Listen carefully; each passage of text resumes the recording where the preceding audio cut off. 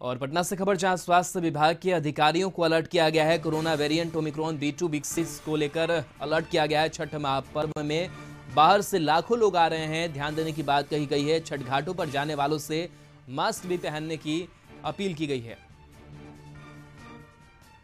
मरगुब हमारे साथ जुड़े हुए हैं। मरगुब, स्वास्थ्य विभाग के अधिकारियों को अलर्ट किया गया है क्योंकि काफ़ी संख्या में लाखों लोग जो हैं वो बिहार पहुँच रहे हैं। छठ को लेकर के किस तरीके की सावधानी बरतने की बात कही गई है?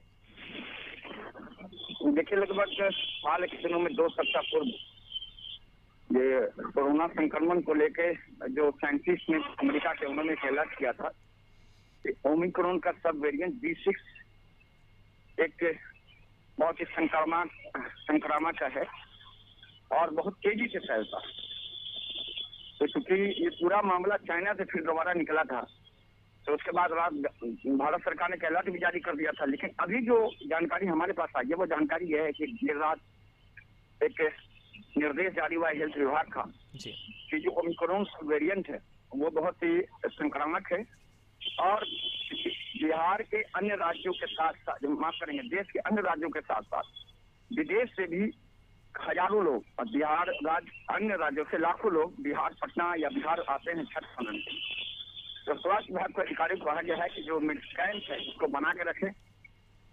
इलाज की अगर ज़रूरत पड़े तो तत्काल घाट वही इलाज करें, वही वही जाँच करें और लोगों में ये जागरूकता घाट पर फैलाएँ। जिलाधिकारी को कहा गया कि मास्क हमेशा ज़रूर अगर लोग मास्क पहन करा रहे हैं तो लोग सुरक्षित रहेंगे और ये अपने आप में बड़ा गंभीर फिर कह सकते हैं कि मामला आया। आपको पता होगा कि आपसे लगभग दस दिन पहले मुख्यमंत्री नीतीश कुमार ने भी कहा था एक और वेरिएंट आया है इसलिए बच के रहना है, मास्क पहनिए तो फ़िलहाल ये अपील की गई है और अधिकारियों को अलर्ट जारी कर दिया गया है और निर्देश कहा गया है कि आप अलर्ट रहें। इलाज और दवाई दोनों की व्यवस्था करें और लोगों में जागरूकता फैलाएँ कि किसी भी परिस्थिति में आप मास्क का इस्तेमाल खास करके घाटों पर करें। जी।